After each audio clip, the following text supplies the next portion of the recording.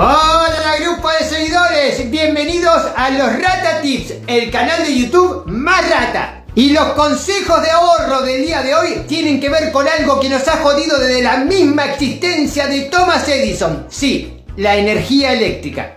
Pero hoy vamos a engañar al sistema y lograr que cuando venga la boleta de luz no digamos, ¡epa, un numerito! Hay varios tips que se me ocurren al momento de ahorrar luz. Uno de ellos es estar colgado o enganchado, pero eso sería incurrir en la ilegalidad. Y en este canal no promovemos eso. Porque de mí podrán decir que soy tacaño, amarrete, avaro, mezquino, pero un delincuente jamás. Colgarse de la luz está mal.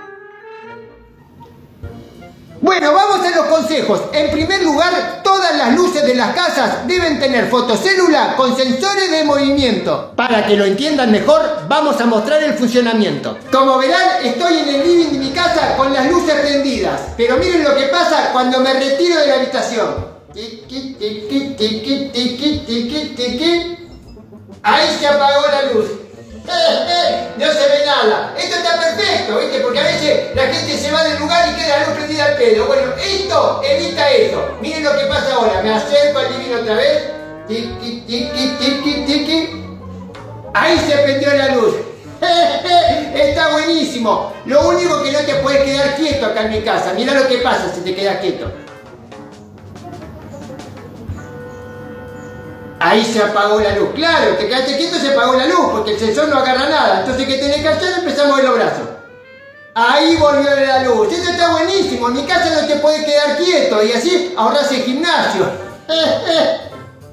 Uno de los artefactos eléctricos que más energía consume en la casa es la plancha. Te odio.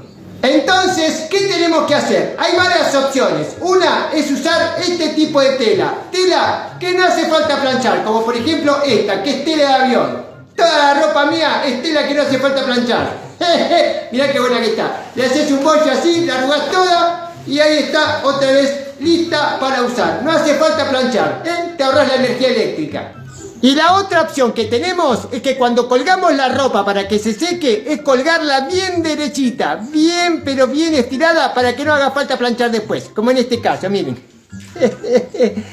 miren qué buena que está. Listo. Perfecta. Lista para usar. Le gané el sistema.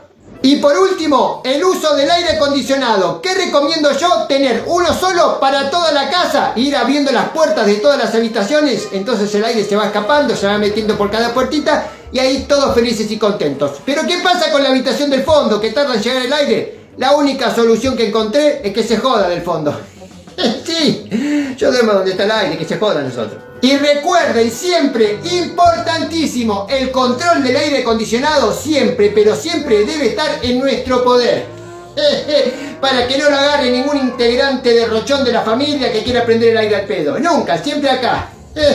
El aire acondicionado solamente se prende un ratito cuando la sensación térmica de afuera es superior a los 45 grados. Si no, nada. Y si tenés frío, no ponga la calefacción. Para eso está el pullover o la campera. ¿Tenés frío? Ponete la capa de tu tío. Eso me decían a mí. Vos sos muy chico, no te acordás. Y esto solamente fueron algunos tips. Si tenés algún otro, déjamelo en los comentarios y no te olvides de suscribirte al canal. Si total es gratis, no te cuesta nada. Así hacemos algún numerito, ¿viste? ¿Vos entendés?